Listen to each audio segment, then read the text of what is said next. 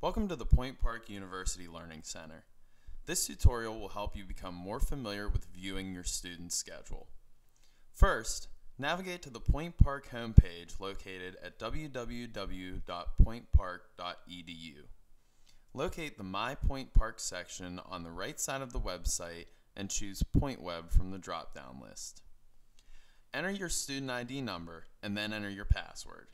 If you've forgotten your password, you can have a reminder email sent directly to your Point Park email account by using the I Forgot My Password link near the top right side of your screen. Click the Students tab along the top of the web page. Under Students, on the left side of the web page, locate and click the Course Information link and then select the Student Schedule link from the same menu.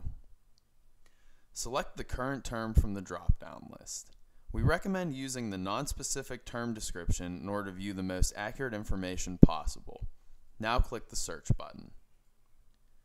From here, you can view your schedule information including date and time, instructors, and the classroom locations.